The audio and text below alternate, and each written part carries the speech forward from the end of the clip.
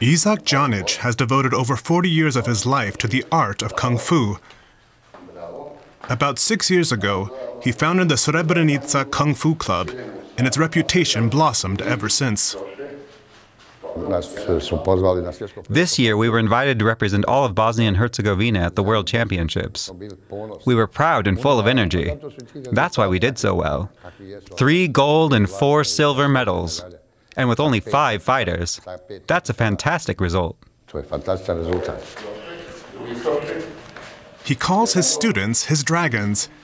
He has no children of his own. Three students are at the club today. Adnela is the most accomplished.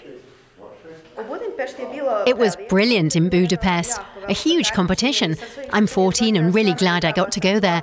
I had quite a bit of success one gold and one silver medal.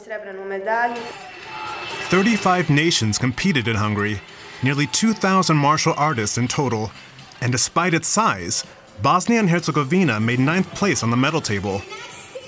For Isak's students, the first fight begins off the mats.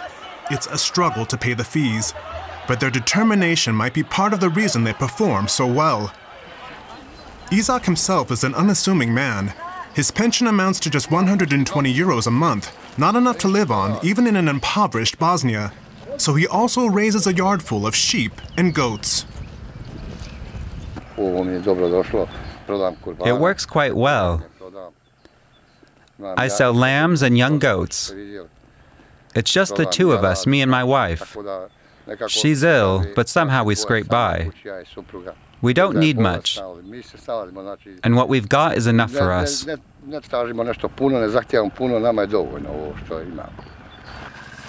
And then in early spring, the news arrived from faraway America. Isak's success as a coach had earned him a spot in the United States Martial Arts Hall of Fame, a great honor and recognition of his efforts. This is simply the pinnacle of what you can achieve in martial arts, at least for me. I don't think there can be any greater recognition. Maybe winning a world championship. That would be at about the same level, a gold medal. But to me, this is more important. But how to pay for the trip to the US? The club doesn't have the funds to sponsor it. The town of Srebrenica grants the club only 2,000 euros per year, even though it now boasts over 100 members. Isak doesn't want to charge fees. Many of the club's members couldn't afford it. They go to a local gymnasium to practice. You saw, when we arrived here, there was no water in the toilets.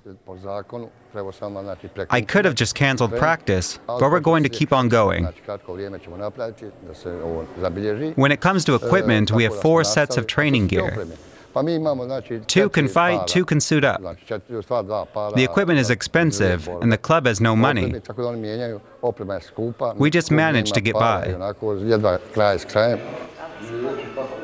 Wealthy private donors occasionally step up as sponsors, especially to finance trips to competitions. But Isak seems reluctant to ask for the money to finance his trip to the US. His friends and club members are collecting the money for him.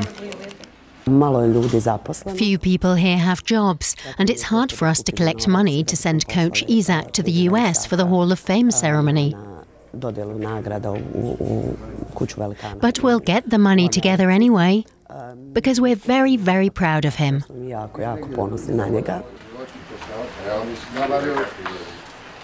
Adnela puts in another practice session at home.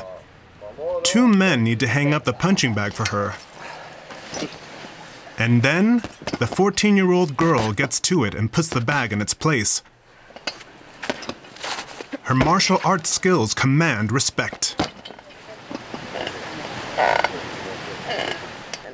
The boys at school don't mess with me, not that they haven't tried. And how did that go? Not well for them. And if she keeps training hard, it's unlikely to go well for her future opponents either. Isak is sure of that. After all, more important than his own recognition is the future of his determined dragons.